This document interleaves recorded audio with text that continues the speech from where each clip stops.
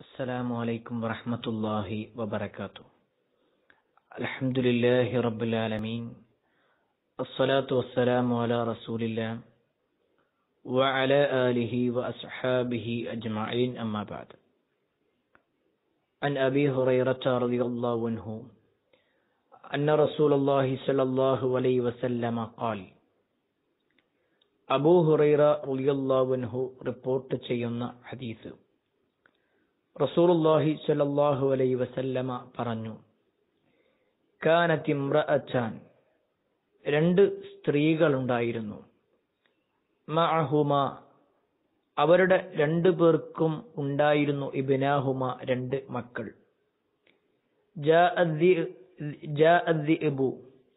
ഒരു ചെന്നായ വരികയും ഫദഹബ ബി ഇബിനി ഇഹ്ദാഹുമ. അവരിൽ രണ്ടു പേരിൽ ഒരാളുടെ കുഞ്ഞിനെയുമായി പോവുകയും ചെയ്തു. ഒരു നാട്ടിൽ ഉണ്ടായ ഒരു സംഭവത്തെ കുറിച്ചാണ് പറയുന്നത്. രണ്ട് സ്ത്രീകൾ ഉണ്ടായിരുന്നു. ആ സ്ത്രീകൾക്ക് രണ്ടു പേർക്കും ഓരോ ആൺകുട്ടികൾ ഉണ്ടായിരുന്നു. ഒരു ചെന്നായ വരികയും അവരിൽ ഒരാളുടെ കുഞ്ഞിനെയും കൊണ്ട് അത് പോവുകയും ചെയ്തു. ഫഖാലത്ത് ലിസാഹിബത്തിഹ. അവരിൽ ഒരാൾ മറ്റൊരാളോട് പറഞ്ഞു ഇന്നമ ദഹബ ബി ഇബിനിക്ക ബി ഇബിനിക്ക് നിശ്ചയമായും ആ ചെന്നായ കൊണ്ടുപോയിട്ടുള്ളത് നിന്റെ കുഞ്ഞിനെയാണ്. വക്കാലത്തിൽ ഉഖറ. അപ്പോൾ മറ്റേ സ്ത്രീ പറഞ്ഞു ഇന്നമ ദഹബ ബി ഇബിനിക്ക് അല്ല ആ ചെന്നായ കൊണ്ടുപോയിട്ടുള്ളത് നിന്റെ കുഞ്ഞിനെയാണ്. അങ്ങനെ രണ്ടുപേരും തമ്മിൽ തർക്കമായി. ഇല ദാവൂദ് അലൈഹിസ്സലാം. അങ്ങനെ അവർ ദാവൂദ് നബി അലൈഹിസ്സലാമിന്റെ അടുക്കലേക്ക് അവർ വിധി നിർണയത്തിന് വേണ്ടി കടന്നു വന്നു. ബിഹി ലിൽ കുബറ.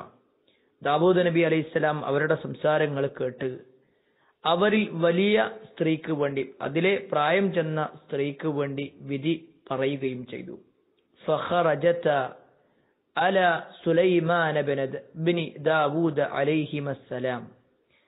അങ്ങനെ അവർ രണ്ടുപേരും പിന്നീട് സുലൈമാൻ നബി അലൈഹിസ്സലാമിന്റെ അടുക്കലേക്ക് അഥവാ ദാവൂദ് നബി അലൈഹിസ്സലാമിന്റെ മകനായ സുലൈമാൻ നബി അലൈഹിസ്സലാമിന്റെ അടുക്കലേക്ക് അവർ ചെന്നു. അവർ ഉണ്ടായ സംഭവങ്ങൾ വിശദീകരിക്കുകയും ചെയ്തു അദ്ദേഹത്തോട്. ഫക്കാല അപ്പോൾ അദ്ദേഹം പറഞ്ഞു നിങ്ങൾ എനിക്ക് കൊണ്ടുവന്നു തരും ബിസിക്കീൻ ഒരു കത്തി നിങ്ങൾ കൊണ്ടുവരൂ. അശുക്കുഹു ബൈനഹുമ ഈ കുഞ്ഞിനെ ഞാൻ നിങ്ങൾക്ക് രണ്ടു പേർക്കുമായി കൊണ്ട് വീതിച്ചു തരാം നിങ്ങൾക്ക് ഞാൻ മുറിച്ചു തരാം. എന്ന് സുലൈമാൻ നബി അലൈഹിസ്സലാം ആ സ്ത്രീകളോടായി കൊണ്ട് പറഞ്ഞു. ഫക്കാലത്തി സുഹറ അപ്പോൾ ആ രണ്ട് സ്ത്രീകളിൽ ചെറിയ സ്ത്രീ പറഞ്ഞു ലാ തഫ് അൽ നിങ്ങൾ അങ്ങനെ പ്രവർത്തിക്കരുത്. ഇറഹമുക്കല്ലാ അള്ളാഹു നിങ്ങൾക്ക് കാരുണ്യം ചെയ്യട്ടെ ഹുവ ഇബിനുഹ. അത് ഈ കുട്ടി അയാ ആ സ്ത്രീയുടെ ആ പ്രായം ചെന്ന സ്ത്രീയുടെ തന്നെ കുട്ടിയാണ്. മറ്റേ സ്ത്രീയുടെ കുട്ടിയാണ്. അപ്പോൾ സുലൈമാൻ നബി അലൈഹിസ്സലാം വിധിച്ചു ബിഹി ലിസ്സുഗറ ആ കുഞ്ഞ് ചെറിയ സ്ത്രീയുടെ കുഞ്ഞ് തന്നെയാണ്. ആ രണ്ട് സ്ത്രീകളിൽ പ്രായം കുറവുള്ള സ്ത്രീയുടെ കുഞ്ഞാണ് എന്ന് സുലൈമാൻ നബി അലൈഹി സ്വലാം മനസ്സിലാക്കുകയും കാരണം ഒരു മാതാവിന്റെ ഹൃദയം എന്താണെന്ന് ബോധ്യപ്പെട്ട് അദ്ദേഹം ആ ഒരു സ്ത്രീക്ക് വേണ്ടി വിധി നിർണയം നടത്തുകയും ചെയ്തു. എന്ന ഒരു ഹദീസാണ് ഈ വിഷയത്തിലുള്ളത്. ഇമാം ബുഖാരി അദ്ദേഹത്തിന്റെ സഹീഹുൽ ബുഖാരിയിൽ കൊടുത്തതായ ഒരു ഹദീസാണിത്. ഈ ഒരു ഹദീസിൽ ഒരുപാട് വിഷയങ്ങൾ പണ്ഡിതന്മാർ എടുത്തു പറഞ്ഞതായി കാണുവാൻ സാധിക്കും. അതിലൊന്ന് ഒരു മാതാവിന്റെ മനസ്സിനെ കുറിച്ചാണ് തന്റെ കുഞ്ഞിനെ സംബന്ധിച്ചിടത്തോളം ഒരിക്കലും വേദന വരരുത് എന്നുള്ള ചിന്ത. എനിക്ക് ലഭിച്ചിട്ടില്ലെങ്കിലും ശരി എന്റെ കുഞ്ഞിന് ഒരു പോറലും ഏൽക്കരുത് എന്ന ഒരു ചിന്ത ഒരു മാതാവിന്റെ മാതൃഹൃദയമായി കൊണ്ട് മനസ്സിലാക്കുന്നതോടൊപ്പം.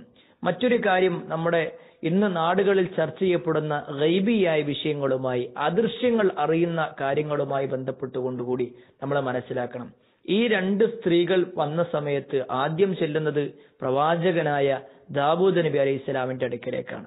എന്നാൽ ഒരു പ്രവാചകനായിട്ട് കൂടി ആ രണ്ട് പേരിൽ ആരുടെ കുഞ്ഞിനെയാണ് ചെന്നായ കൊണ്ടുപോയത് എന്ന് പോലും മഹാനായ ദാവൂദ് നബി അലൈഹി ഇസ്ലാമൊക്കെ അറിഞ്ഞില്ല.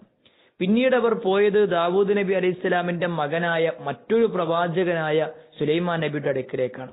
അദ്ദേഹത്തിനും അറിയാൻ കഴിഞ്ഞില്ല. മറിച്ച് അദ്ദേഹം ഒരു തന്ത്രം പ്രയോഗിച്ചുകൊണ്ട് അവരിൽ നിന്ന് തന്നെ അതിന്റെ യാഥാർത്ഥ്യം മനസ്സിലാക്കുകയും അവരുടെ ഇടപെടലുകളിൽ നിന്ന് മനസ്സിലാക്കി വിധി തീർപ്പി വിധി തീർപ്പ് കൽപ്പിക്കുകയും ചെയ്തു എന്നുള്ളതാണ് നമുക്ക് ഈ ചരിത്ര സംഭവത്തിലൂടെ മനസ്സിലാക്കാൻ സാധിക്കുന്നതെങ്കിൽ.